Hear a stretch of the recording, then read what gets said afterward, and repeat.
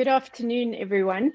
The Milpark team, Gareth and I, would like to welcome you to this first in a series of webinars focusing on providing essential information to the firms regarding our Milpark teaching and learning in the CA space. My name is Leanne Hayward. I'm the Chief Commercial Officer, and I'm very excited to share this session with all of you today.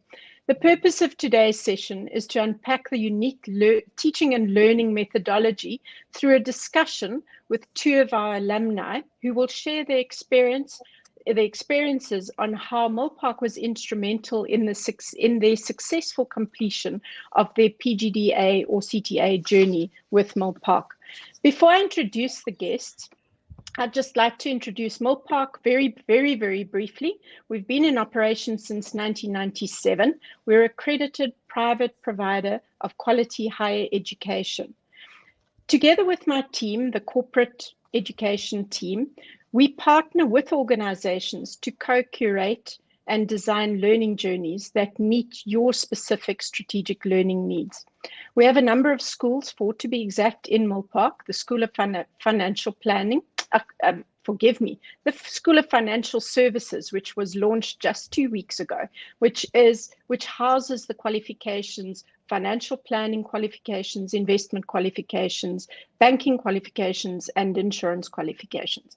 Milpark Business School, which focuses on postgrad leadership and management development. Milpark School of Commerce, which focuses on undergrad qualifications. And last but not least, the School of Professional Accounting, a great number of you on the call today are either students or alumni, and some of you are even representatives of firms who know CA Connect very well. The School of Professional Accounting incorporates CA Connect. Hanley will post in the chat, she will post links to the various um, pl places on the website where you'll be able to find more information. So I'm not going to go into any more detail. I'd like to take this opportunity to one introduce Gareth, Gareth Olivier, who is one of the founding members of CA Connect and now head of school of the School of Professional Accounting, and then the two ladies. So I'm going to give you a little bit of a bio and forgive me for reading it off because I really don't want to do any injustice to both these ladies. I'll start off. So in my top left-hand corner is Regina Witbooi. Regina is a lecturer at the West Coast College in the Western Cape and is teaching accounting and mathematics, and she's been there for 10 years already. Regina has two degrees, a Bachelor of Education and a Bachelor of Accounting Sciences, both completed cum laude. Well done, Regina. In 2022, she successfully completed her postgraduate diploma in accounting through Milpark while working full-time and raising three children. Regina's future goal is to become a chartered accountant. She's not only determined to work hard and achieve her dream, she also hopes to inspire others to reach their first full potential and pursue their passions, just as she has. The ITC results are being released by SAICA on Friday, and Regina is waiting excitedly for her, her results. All of the best, Regina. Thank you. Secondly, I'd like to introduce Renee Moritz also an alumni, a Milpark alumni. Renee graduated with a, oh gosh, with a bachelor's in accounting and a bachelor's of law, the University of Stellenbosch, where after she completed her practical legal training through the Law Society of South Africa. In mid in 2022, the mid-year intake, Renee embarked on her CTA with Milpark. In 2021, after completion hang on, that sounds 2021. You I've got my I dates wrong, right? Yeah, 2020 and completed 20, in 2021. Correct. I've got it wrong. My apologies. In 2021, after completing the PGDA, top of her class, she went on to successfully complete the SAICA ITC as the National Top Achiever in September 2021.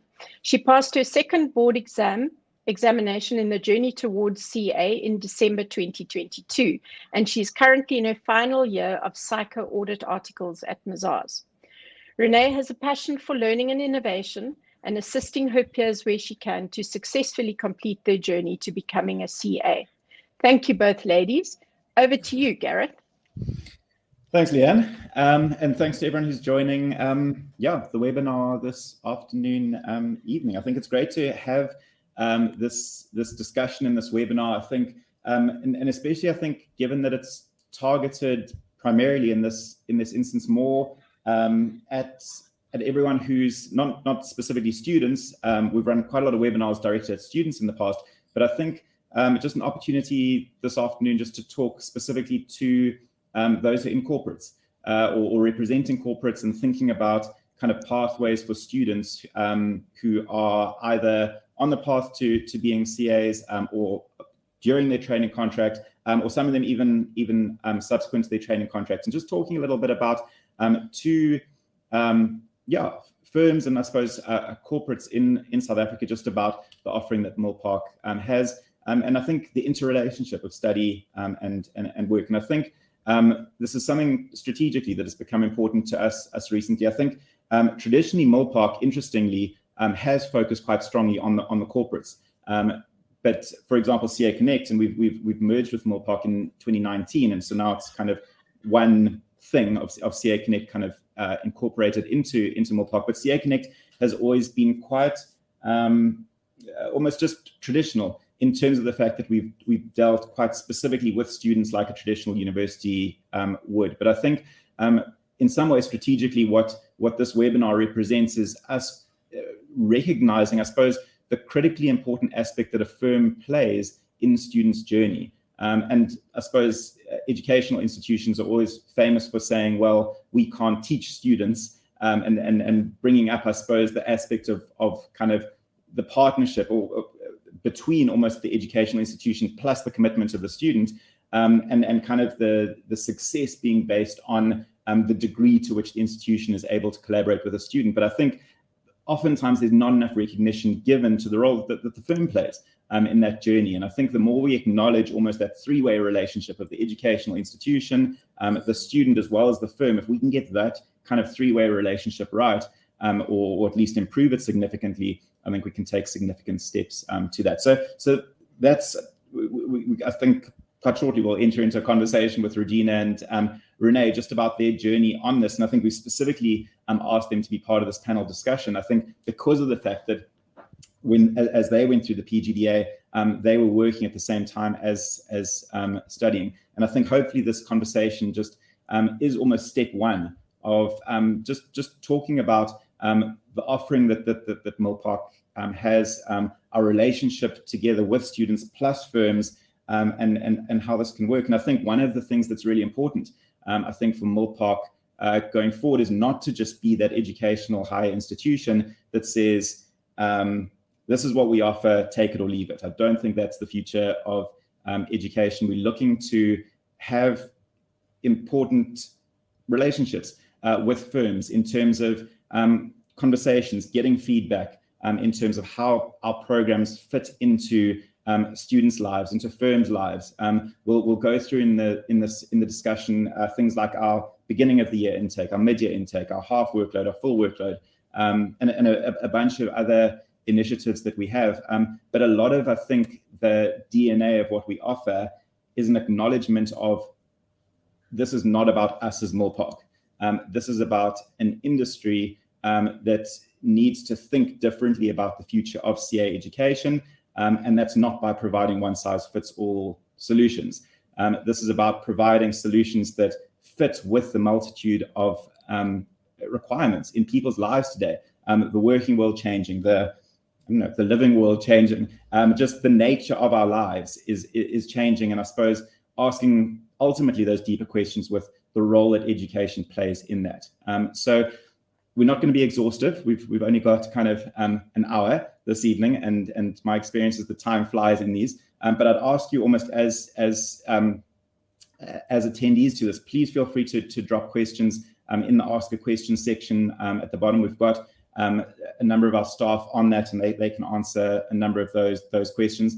but really, in terms of the discussion, I'm going to kind of in a lot of ways throw it open to Renee and and, and Regina to talk about their experiences in this. Um, I suppose what I'm hoping as a result of this this webinar is is we take step one um, into this conversation between Milpark and firms and students and think about kind of this three-way relationship and how we make it um, work. And I think um, Leanne and her team is, is such an important part of this because strategically they set up um, as almost these um, people to manage um, and, and be dedicated to firms in, in the space because we I think we understand how um, important that relationship is. So part of this webinar is also an invitation um, to reach out to, to um, Leanne's team as a process of getting to know you better and understanding firms better in terms of needs, um, so that ultimately in the education program we can offer um, things that, that, that that are better. That's things that I think Leanne's team already does with a number of really big corporates. I don't think I'm allowed to say the names, um, but but a number of big corporates are,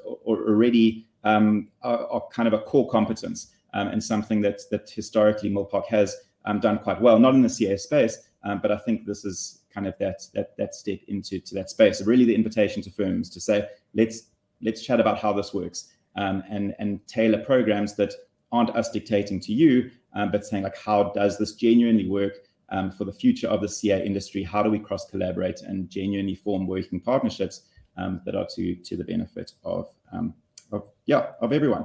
Um, and we were kind of brainstorming in terms in terms of this this webinar. What was the best way? And obviously, my first proposal was let's do death by PowerPoint. Um, Leanne said that that wasn't okay.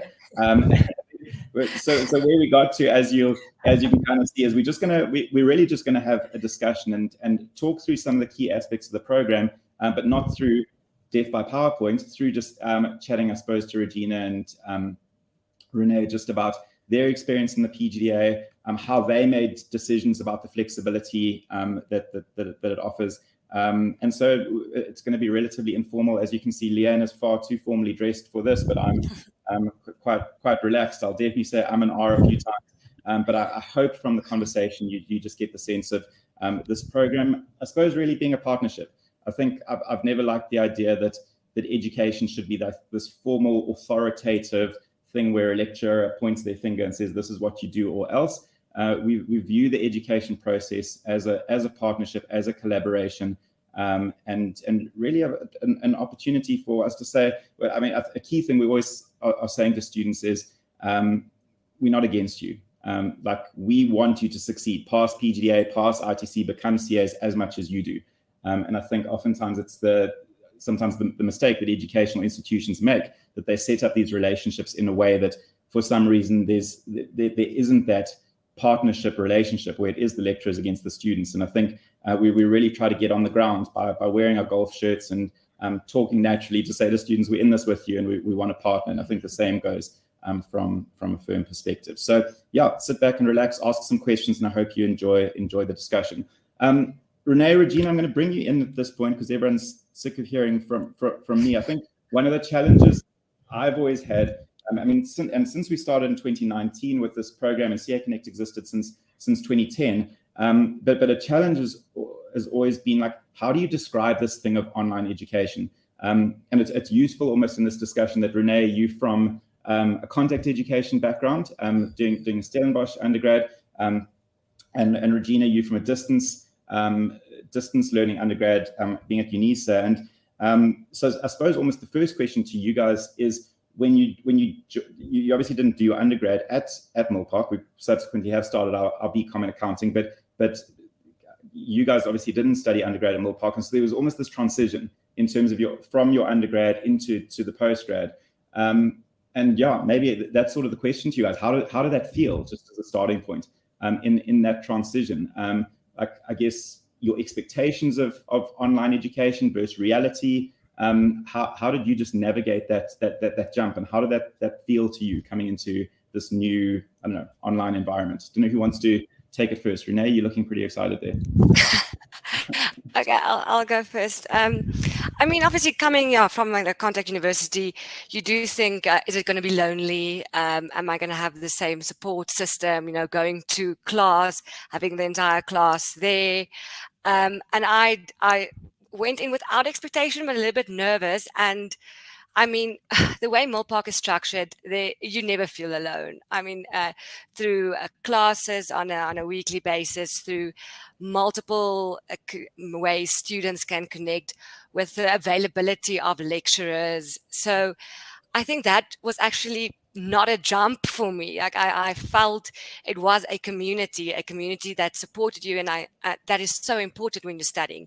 So whether that comes in the form of a contact university, we're in a class, or whether it's an online um, studying method, if you have that community that supports you, that's that's really all you need. So for me, um, Gareth, that was, I mean, a great a great transition, and I think Milpark has spent a lot of time and energy ensuring that students do have a community and that they do not feel alone while studying through a laptop and only communicating through Teams and so forth. You you don't feel alone whatsoever. Mm. So do you know anything you want to add?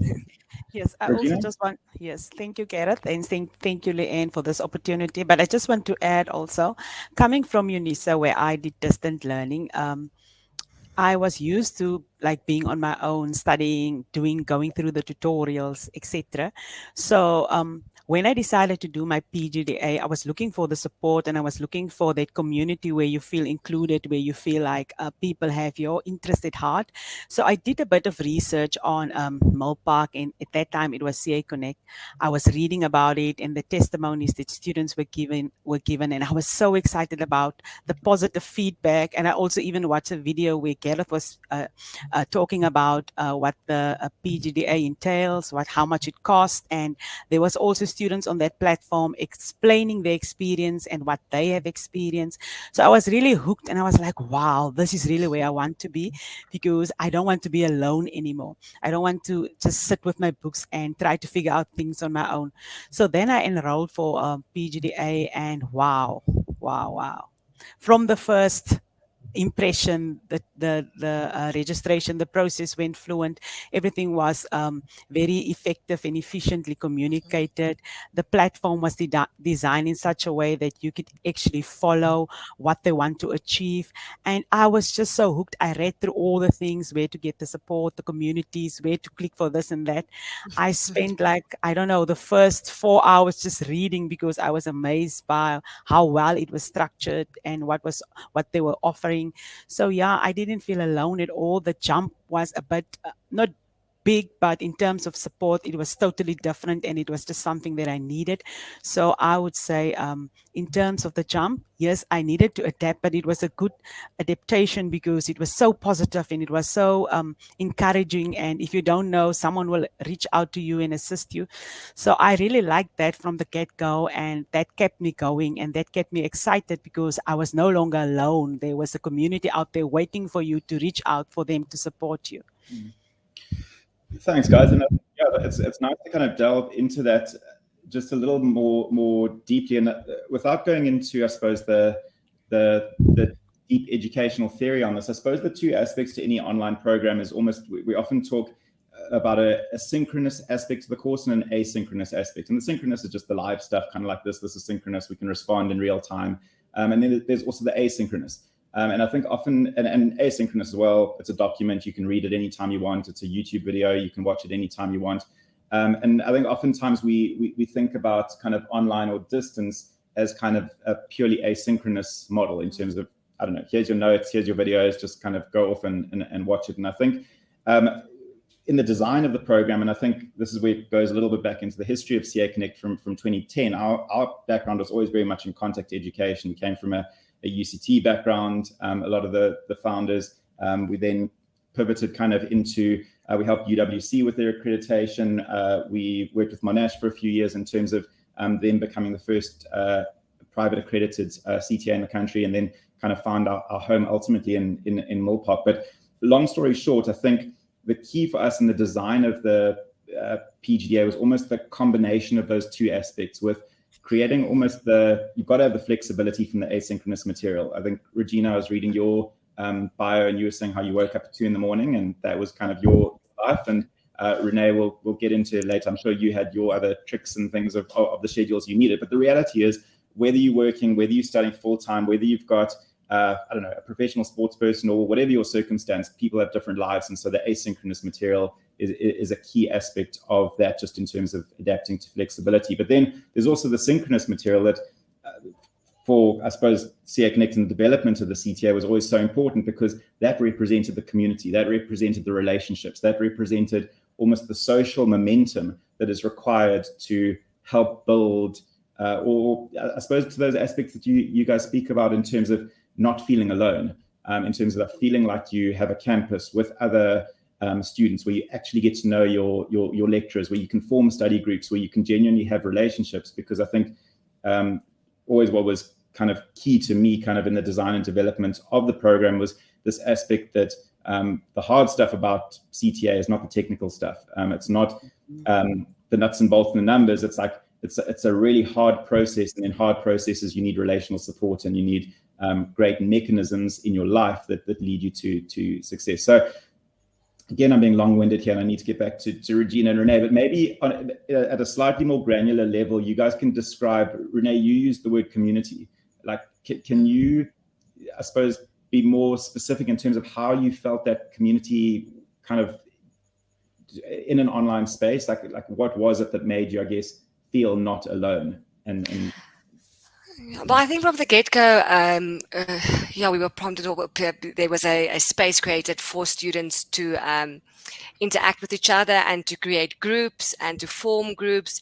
Um, and whether they were in Johannesburg, Durban, or Cape Town, we could all um, form groups together and had like a smaller um, support system in, in that way. But then also like on a weekly basis, if you were able to attend the live online classes, there were live online classes with with lecturers where a lot of fellow students were and um, could chat, ask your questions after you work through the material. And then also just um, actually the lecturers and, and being able to contact lecturers at sometimes setting up meetings quite late in the evening and, and them supporting you not only on uh, the technical level and the technical questions you have, but sometimes when you're feeling overwhelmed, giving that support as well. So I think it's yeah, your fellow peers and the lecturers that, that created that community for me. Mm. Awesome. And Regina, from your side? I would say for me, it was from the start. Um, when we started with the PGDA, it was I think around about February. It was an intake, and then part of the uh, activity was that you need to introduce yourself on a platform. I think it was Yammer where you need to write about, "Hi, my name is Regina. I have three kids, and I did this in my past, and I'm hoping to achieve this for this year." So that was quite nice for me because it created almost like introduce yourself where you learn to to to know other people maybe with similar situations and you could reach out to them. So that was one thing that stood out for me in terms of knowing who is uh, the the other fellow um, peers that are also studying at, at Milpark and then there was also the other services that uh, Milpark provided the drop-in sessions on a Friday where you can just come together as students. It's not content related. It's all about about sharing maybe tips or maybe if you're frustrated or you're going through things, you just uh, go to the drop-in session. Terry would be there. That, well, that was our almost like the, the person that was um, running the drop-in sessions. So then we, we would just talk about normal things, about tips, about how was your week. Some of us struggling to study, mental, less mental, maybe mental issues, struggling with things. So that community also helped to re- for me to realize that I'm not alone. There are people going through the same things, and I could also take tips from them. And then there was also Yammer where you can post a question, and sometimes um, students would post a joke here and there just to keep the morale up. So it was not only all about um, education, it was like at university where you get together and you have your different cliques. Some are doing this and others are doing that. So you find something that you feel like this is feeding me, this is supporting me on my journey. So there were many options that you can actually choose from and belong to. And for me, that's um, a, a, mother of three and I'm very busy during the day. And sometimes you get so overwhelmed or, um, because of the education or the pace that the program is set at, but you can still reach out. Um, there's communities for that. And we also had the option where you can reach out to a study buddy or accountability partner. They encourage that. I did that. And I'm so thankful for that because I, I, I managed to get someone that walked with me during this journey. We had our great um, share of challenges and laughter. So it is really quite nice the way that they created the different options and services available where you feel like I belong. I can take this and go with it on my journey to make a success of it. Mm. So I made use of all those things just to see which one works best for me. And sometimes I will just mix it up, a drop in session, one-on-one uh, consultation or a post in Yammer or just reach out to my accountability partner. So there was a mix of things that made me feel like I belong. I can make it. And um, if I keep on just doing what I'm doing and reaching out when needed, then I can make a success of this journey. Mm. Yeah, thanks, Regina. And just to, to fill in uh, possibly one of the uh, blanks for, for everyone out there in terms of you mentioned Terry and the drop-in sessions. Um, just as background to that, um, a number of our staff in the um, in the School of Professional Accounting aren't um, CA staff. We've, we've obviously got um, quite a, uh, the majority, I suppose, are, are, CA staff, but we also have um, psychologists and counselors specifically, not just kind of at an institutional level, but involved in the day-to-day. -day um, of the running of the PGDA and bridging and and, and BCom. Um, I suppose also just on that on that understanding of the nature of the program that um, the challenges we face are to a large extent not technical or not the CA stuff. It's not the IFRS and the tax queries. It's it's about the community. It's about the motivation. It's about the momentum. It's about um, yeah, staying up to date and and feeling part of a community. And if we can kind of conquer that, then a lot of the the, the teaching and the learning aspects um, can be made a lot easier. Um, and, and and so that's yeah, that's quite an important part of kind of the ethos of what we do. Is it not kind of like let's get IFRS right? It's it's more along the lines of kind of can we get the community and relationship aspects right, and then hopefully um, a bunch of the other stuff takes takes care of itself. And I think also to your point, Regina, around almost we refer to it sometimes as the buffet of, of support because we, I suppose we know it at different times we have different needs in terms of sometimes you need asynchronous support with an email or a Yammer post. Um, sometimes you need kind of the synchronous stuff with a one-on-one session. Um, sometimes you need a group live session. Um, and I suppose we try to offer that, that buffet of support, not um, as a prescriptive method to say, well, you must use everything every week, but to say it and to understand that different people have different needs and at different times of the course, there are different pressure points um, and there are those that buffet or those mechanisms of support to use as and when it's appropriate for, for, for you and to kind of walk that partnering path down the journey with with um, the class to to figure out um, yeah just what what's appropriate for them at each time and kind of how we can walk the difficult journey journey together. Something that's fascinating about about you guys and probably particularly for the context of this um, you were both uh, working and studying um, at the same time. And regina i think you've um, mentioned you've got three kids as well, which I can only imagine what what what that is. But but even more interesting is that you, even though in the PGDA we've got the option of the half workload and full workload, you guys both chose the full the full workload. Um, so just in terms of the background of it, the full workload, our general guidance is that requires 40 hours a week um, of work from a student perspective. It is 40 pretty flexible hours, so probably about 90% of those hours are flexible and and asynchronous um, but it's still 40 hours. So flexible doesn't mean um, uh, doesn't mean less. It, it, just means well, there's 40 hours, but you can you've got the choice of when to do it. Um, and then, but then of course we realize that based on life circumstances, which could be work, which could be other things, uh, many students can only put in 20 hours, and that's where we kind of have our half workload. Um, kind of the the details of that is up on the on the website if anyone wants to kind of read about it. But we try to make it almost as cost agnostic as possible in terms of there's no cost difference between the half workload and full workload. So we can hopefully empower um, students and, and firms who are helping students make the decision, um, empower them to make this, the, decision that's in their best interests. Um, so I kind of wanted to ask uh, you guys and, and Renee, maybe we can start with you in terms of um, that choice to do the full workload and both just how maybe I didn't know what I was getting myself into at the point when I started, because I, I, started my first year of, of articles.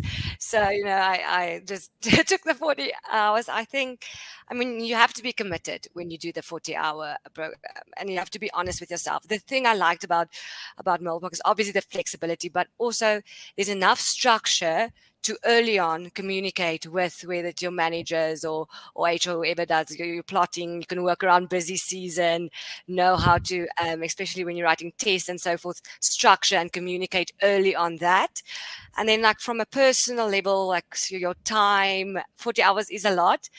Uh, um, like you mentioned, the, the 20 hours, 20 hours, uh, if I maybe now in my life or if I'm um, post articles, it might rather be the 20 hours because you really have to be honest with yourself in you, if you can put 40 hours in. Sometimes I, I was doing i was doing 30 hours i'm not gonna lie and i had to like catch up a little bit. But yeah mine was 7 to 11 every evening and 20 hours during the weekend um, but also being adaptable and flexible doing that if I, overtime was required to switch it around a little bit. Um, but yeah so i i think uh, the 40 hours is it's doable um, depending on on what your life looks like and uh, what your work looks like and what your work requires from you. Um, but i think it's amazing to also have the option of doing 20 hours because doing 40 hours 20 hours i could see 20 hours is very feasible 40 hours is so feasible yeah but a little bit more difficult and I think that's where, from a terminology point of view, we've been quite deliberate about not calling this full time and part time. Uh, we, we're specific about calling it full and half workload because it's it's really about providing the option and not the the prescription. So kind of as kind of Renee and Regina kind of are saying, they were working, but they still chose the full workload. Where I think a lot of times in the past we thought, oh, uh, full workload equals full time, and I think that's where we, I suppose, as an institution, we say, well, let's chat and have that conversation. But ultimately, each person is the expert on their life, um, so we can provide the options, but then they must, uh, I suppose, it's up to each individual. Um, and probably with the counseling, I, I, I would expect from the firm as well um, to say what what is the option that's best suited for you, um, and probably something that that um, worth worth as as firms thinking about is what what is appropriate, what is your view, I guess, on on the workload that the students take, because I'd imagine there could be some firms where this work works on a on a kind of full workload basis, but some firms will just say, oh, we've got X and Y clients, and um, it, it's just not going to to make sense. Regina, I'm a bit worried about coming to you because I know on top of the work requirements, you also had three kids. So I sort of don't want to ask how you actually fit it in, but maybe you can tell us your experience on, on the full workload and kind of how that felt for you. Okay. So before I decided to do the full workload, I first uh, planned because um, for me, it's very important to plan. So I looked at the time that I had available.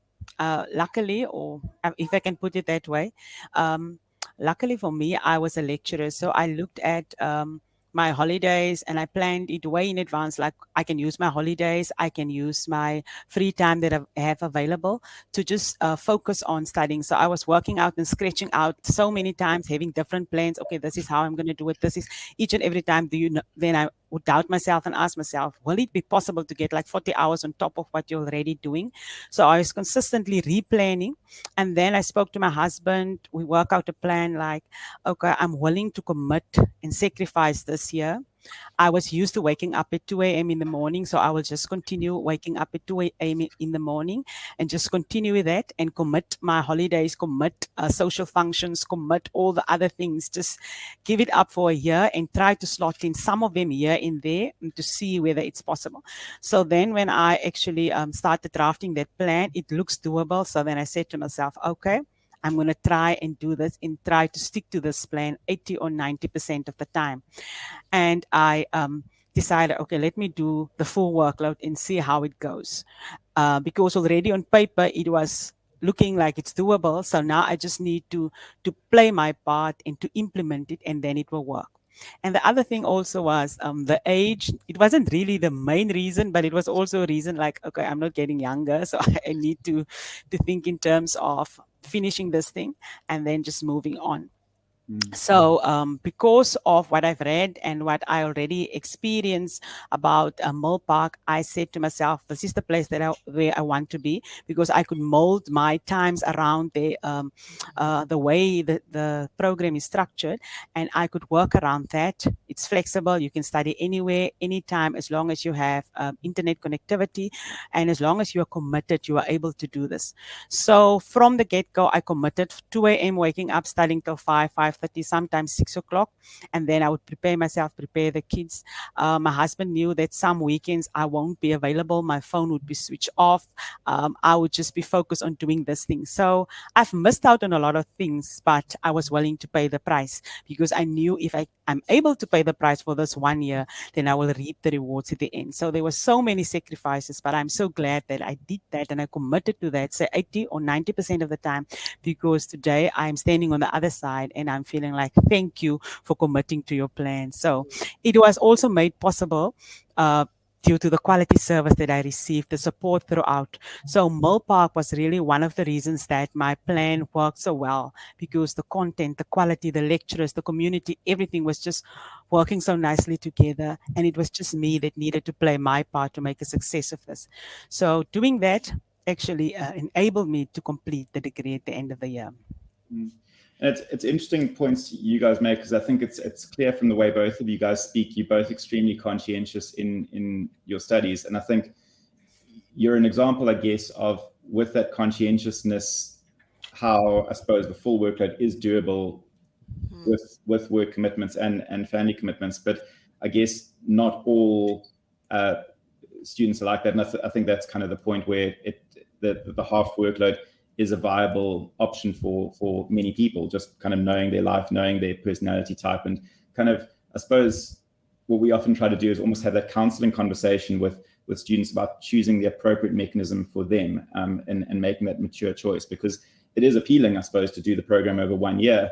Um, but if you know objectively you can't do 40 hours then that's not going to going to work for you. So it's important to to understand um, yeah to to understand that. And i think from a design perspective i think as I've said, the like obviously the half workload takes longer. So the option would be, well, if you're going to do 20 hours a week, then it takes two years. If you do 40 hours a week, it takes takes one year. But the, the cost is still the same cost spread over um, a, a, different um, yeah a different period. Um, Regina, you made the, the comment almost about kind of leave and how you're able to use that effectively. Uh, Renee, I'm interested to hear about you and how you, because I think also we often get the question from firms um, about kind of leave policies. Um, and I think oftentimes firms, especially have students who work and study at the same time, have kind of had specific um, uh, leave policies often tailored to to the UNISA CTA. How what, what role did did and, and, and I think our schedule is quite different to that. So the role that kind of leave played in in your study schedule and how you were able to work with your firm in getting the appropriate leave and how important that was. What, what was your experience there? Yeah, well, I, I think I did mine like two, three years back, my, my CTA, and I think I was one of the first people uh, that now completed the, the course. So I was lucky to work with HR to like get get the leave to to match um, match Milpark's schedule and so forth. They went on the same almost structure about like how many leave days they will give the UNISA students. So it's not like the the days changed. It was just how it was spread out. Um, I got a, a, nice amount of study leave, um, which I, I, don't know how most firms work, but between 20 to 25 days, it helped tremendously. Um, I know at, at our firm we can decide how we structure our leave. So my decision was to for the tests only take the days that I write and to keep my leave up until finals um, to have that preparation for finals. But I, I think um, having flexibility in the way that you do structure your leave is quite nice. So having a, a certain amount of days and then yeah um, getting to structure that for your needs for your flexibility because you know where you are before a test or where you are before the mm. exams and then obviously if you're lucky enough to work at a firm that that has you take annual leave with your study leave or if you can work with that overtime to get um, uh, additional leave um, that has also helped so that was my approach to to get as much leave for the finals and yeah during the year i was just mm. doing those 40 hours and and like Regina also say sacrificing but i think both of us could say we we don't regret any sacrifice we made when when we got those results I think it's an interesting one, the the leave one.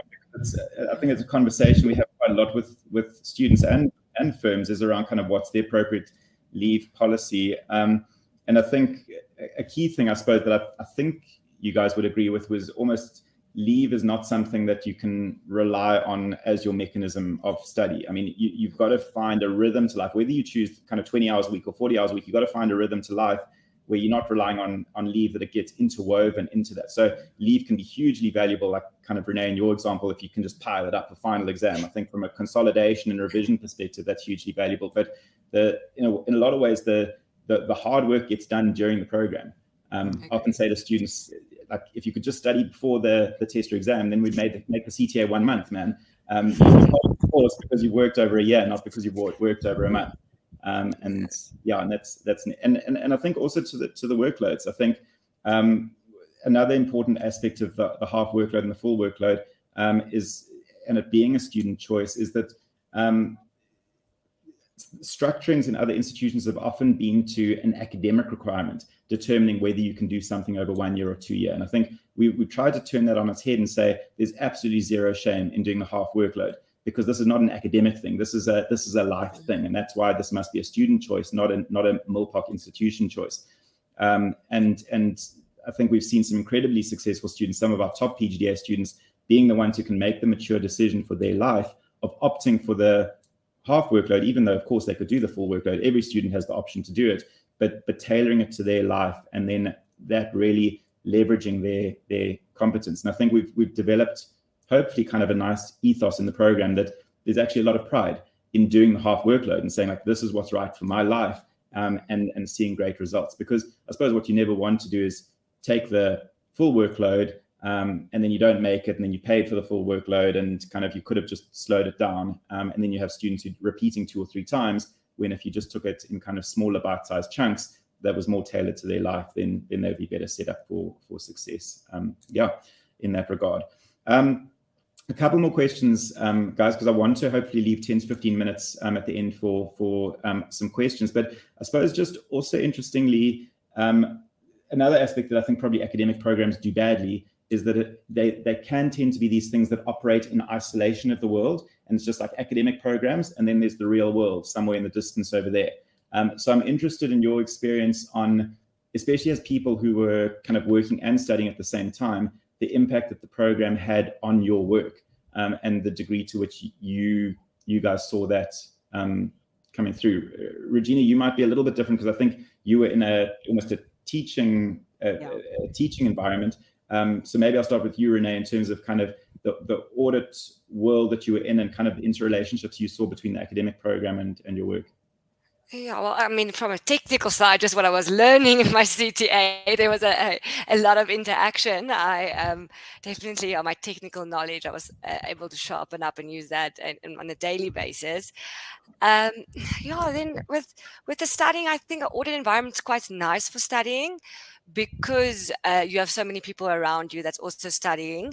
Um, but audit is is uh, if there's auditors in the audience, they'll know uh, overtime is required. We have busy season, um, and the flexibility of Milpark and the support system and the understanding and how the program is structured to yeah, is a, fit with individuals that are working or that have busy lives really really helped a lot. There was times that uh, hectic overtime where you were working 80 hours plus a week where you just didn't have the time to study. But the program is of such a nature that you can catch up. You have access to this information. You have access to lecturers that will assist you. So so i do think that uh, the program is structured in a way to to be mindful and to uh, help uh, individuals that are working and also the people employed at Milpark. And I know that not all the lecturers are there are there anymore than was two years back, but everybody was was mindful and and wanted you to succeed and Hmm. yeah, was just realistic with what one's life looks like. That we're not just hmm. studying twenty four seven. And mm. I wish we could, but uh, but we couldn't. Everybody, yeah, just worked with you to ensure that you can really complete this program and and do it the best of your abilities. And Regina, from your side. I would say um, the value that this program has added to my life in terms of my work as well as my personal life. There's so many um, uh, how can I say value that has been added because instead of just looking at um, the financial implication, I've also learned in management accounting about looking at the non-financial implication, the cost versus the benefit when you make a decision. Even while I was studying, if someone asked you, um, can we do this this weekend or are you available this time? Then I needed to weigh up the cost versus the benefit. Those small things that contributed to making better decisions. So even at work, uh, uh, they have like imprinted in me the control controllability aspect and the uncontrollable things. So it helps you in terms of your decision making for your personal life and also at work. I was able to say, okay, this is out of my control. I cannot control this. I can control this part. Let me focus on this. So there is really those values that they impart in you during this course where you learn about um, things that you are not aware of, decisions that will impact you in the long run. And all those things I try to implement in my life because I've learned them and they were relevant where, where I was working as well as in our household. So that made me a better person when it comes to decision making. I was able to see, oh, okay, I can see that the implication of that, even though it looks positive, what is the long term effect? And I can still hear my lecturers because JD and JP, they normally just this long term decision making and non financial factors and cost versus benefits. So those things were singing a song in my head each and every time that I'm encountered with a decision. I looked, uh, I went back to those things and I could apply them. So yes, there's so many things that I learned throughout this course, and I, I, I've learned. Um, to ask more questions to focus on understanding to know the why and to to to ask ask is there a better way of doing this thing instead of working harder work smarter? All those things that i just took for granted just was like fixed in my head this is where you go to when you're dealing with something like that. So i would say it add added tremendous value to my life up to date up to this day still um, and those soft skills and those other things that um, sometimes we may look at it and think it's irrelevant for me it was relevant because it also helped me in planning and sticking to my uh, timetable sticking to my course and being positive because i was making decisions using those principles that i was taught hmm. and that will benefit me in the long run. Because I remember JD or JP saying we want to make good decisions. So what do you need to make good decisions? I use all those things to help me um, um, yeah, and that's that's certainly music to my ears, Regina, because it's, I mean, it's, it's, things that we, I suppose, we hope for in the design of the program. So for you to articulate it in that way, to almost have that stuff that's almost the implicit stuff that, that becomes explicit, um, is is is great when you can actually take management, accounting, and finance and make it real and what's a sunk cost and what's the relevant cost and like all, all that kind of things. I think the other aspect that I think employers have been feeding back to us a little bit is is in terms of almost the new or the adapted or evolving world of work um, and the need for students exiting um, higher education programs to be upskilled for that. I think another aspect where we try for our program to reflect life and the, the, the today's world of work is, is also in terms of the interaction of the tools that we use. And when we when we use, I mean, the, the students are all on, on Microsoft Teams. When we on the, the learning management system when we've got Yammer, which is a mirror for for social media and that type of interaction, that all I suppose the I don't know the traditional support mechanisms one would expect from a almost a contact university with a community with a campus and all that. We've we've tried to I suppose reflect those in an online context where we get the same kind of feeling of community and support, um, but through these online tools. And I think hopefully through that the graduates who leave us are able to then make a more seamless transition into a world of work, having operated their life um, in a lot of ways from an educational point of view that they can carry through to to a work in a professional um, viewpoint. And I think that is something probably that um, the more traditional universities they grapple with in terms of that digital acumen, um, and and not just necessarily the explicit stuff of big data handling and um, kind of a bit of coding and that kind of thing. It's just being a person in a in a digital world is a is a is a, is a difficult thing to to educate on. And I think hopefully that's another almost implicit thing that we see coming through in a in a, in a way of leveraging kind of the the guys who come through.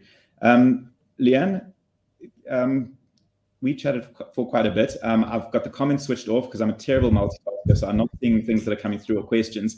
Um, anything that's coming up that you think would be helpful to, to chat through? Um, so Gareth, I think I just want to loop back into what Regina was talking about as a soft skills. I like to call them power skills rather than soft yeah. skills, Regina, because if if you've if you've acquired those, they're very very powerful rather than soft, right?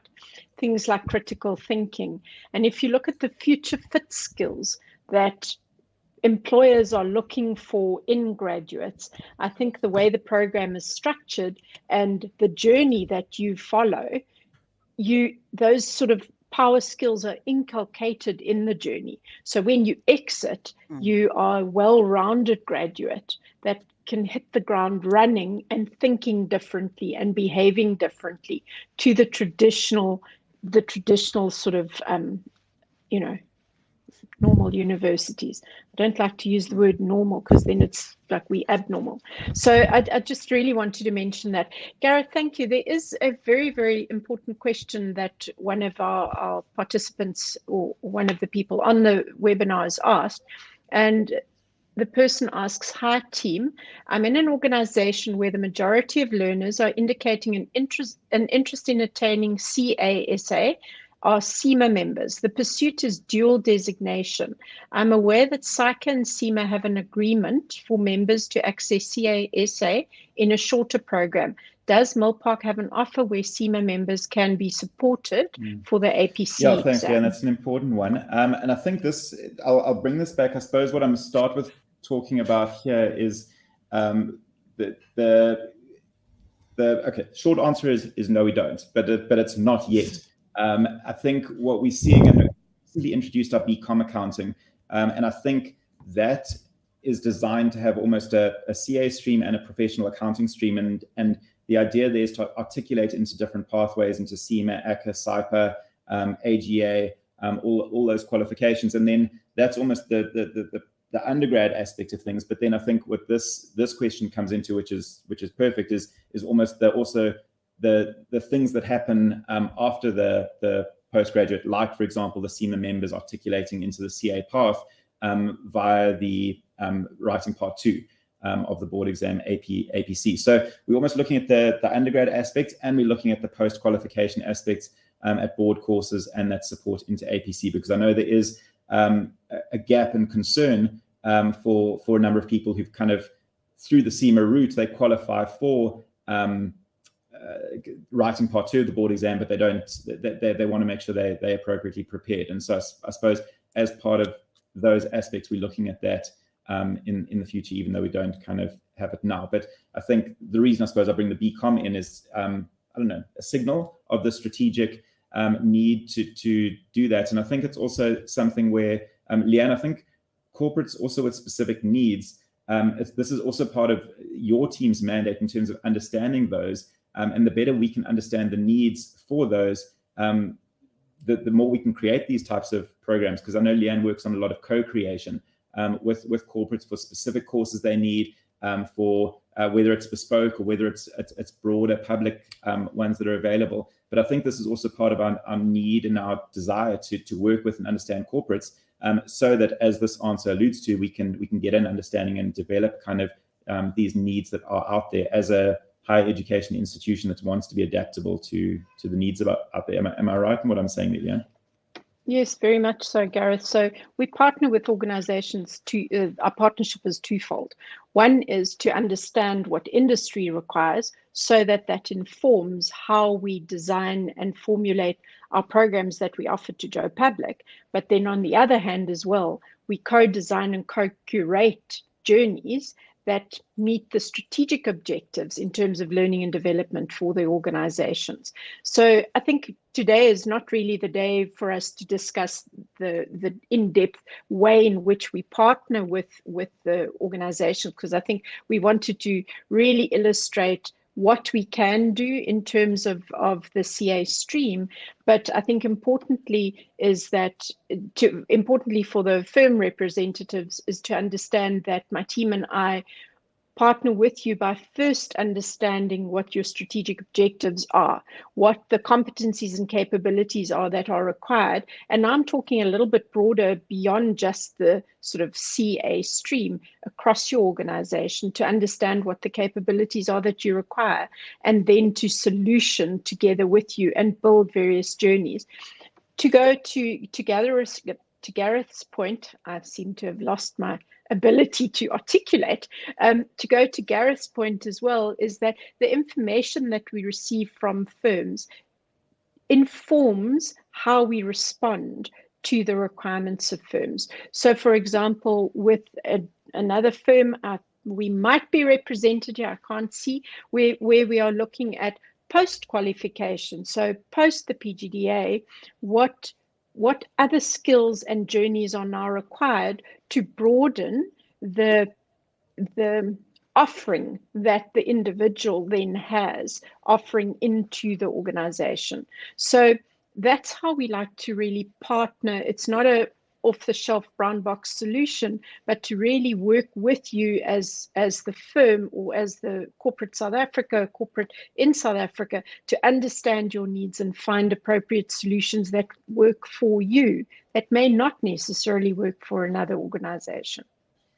Um, Gareth, I do think that just if I can go back to our pre our discussions, is perhaps we spoke about the full and the half load and we workload and we spoke about the two intakes and how that was super appropriate for the students but perhaps if you can illustrate to us what the benefit is for the firms in mm. terms of those two critical um, mm. sort of methodologies that we use yeah, thanks, Dan. It's an important point because we haven't really spoken about the, the, the beginning of the year intake and the and the and the mid year intake, and it's and so I mean, very broadly speaking, students have an option every February to join a new PGDA intake and every July to join a new PGDA intake.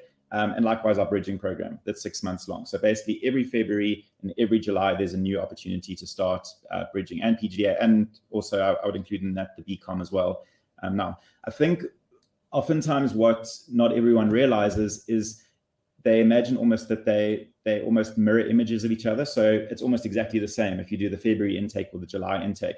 Um, and what's interesting, I mean, if you look at the holidays um, in the calendar year, obviously the December holiday is a big block of holidays that that exists in one part of the year but not the other.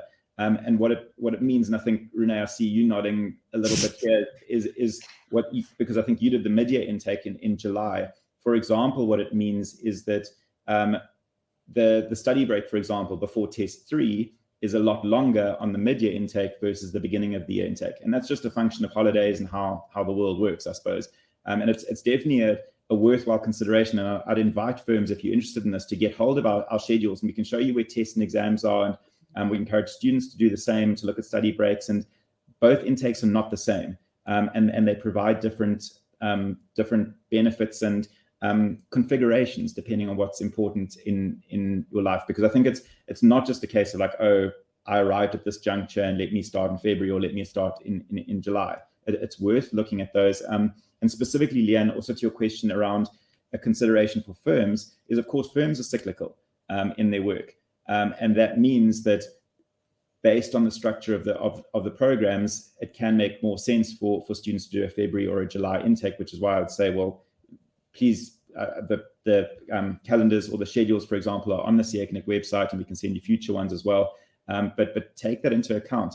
Um, and I, and I know Leanne, in terms of um, what you've done in terms of tailoring programs for some of the corporates as well, um, is knowing their schedules and cycles over a year. They've also asked for almost certain configurations of the program, and we, we operate within certain parameters. There's certain things we can't break, but there's definitely things that we can offer, um, and we can offer not a full block release system, but um, uh, strategic pauses um, in the program. Like if a firm says to us, yo, we've got like three months where it's just crazy with clients and our, our staff have to work crazy overtime, we can take that into account in some aspects and say, well, can this configuration work um, for a program? Can we tailor something in certain respects to, to you? And again, comes back to almost, I suppose, the invitation of why this conversation is so important, um, so that if and where appropriate, those are things we can and want to to build into the the design. Did that sort of answer the question, Jan? I, I didn't speak about the the workloads no, as well. No, I think I think that answers the question. I think the workload we did we did kind of cover some of those the aspects of the workload there. Gareth, there is one more important question that I see we're running out of time, and and I have a few thank yous before we go as well. Is just how does my employer benefit from an employee being enrolled in the course. So, in other words, what is my employee's selling point? What is my value proposition, if I could put it more in marketing terms? What is the, the employee's value proposition to the firm, having, besides just having qualified as a CA, having gone through the journey with Milpark? Hmm trying to think how I, how I can answer that. And I'm wondering if I, if there's a way for me to put that question onto uh, Regina and Renee, and and kind of your experience of whether there's, I suppose, value. I, I suppose what I hope would be the answer would be I, I, hope you're a better CA. I hope you're more adaptable and able to um, adjust to to the world of work and the demands that the, the firm places on you, and you're more resilient, more adaptable, and more innovative and willing to learn. Um, uh, but Renee and Regina, tell me if I'm if I'm um, not being objective no. in that.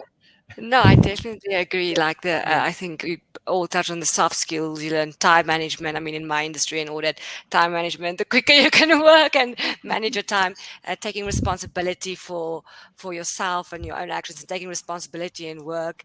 And then, obviously, if your firm wants you to become a CA(SA) and you have Milpark that is willing to work with firms to tailor it across busy season, if we're speaking about audit now, and ensuring that trainees can actually successfully complete the course while working i mean that's a great selling point for your firm that they make you a better rounded individual both technically and your soft skills and then they're willing to work with your firm to ensure that they can get the maximum out of like when it's busy season and then you can successfully complete your studies. I think that's a great selling point.